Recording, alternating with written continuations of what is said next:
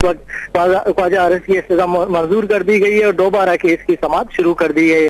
और इस वक्त गवाह मलिक तैयब अपने बयान रिकॉर्ड करवा रहे हैं और कुछ रिकॉर्ड करने के बाद ख्वाजा आरिफ में जरा करेंगे और मियाँ मोहम्मद नवाज़ शरीफ दो बज के तैंतालीस मिनट साफ़ अदालत पहुँचे गए और ख्वाजा आरिफ ने यकीन बयानी करा दी अदालत को।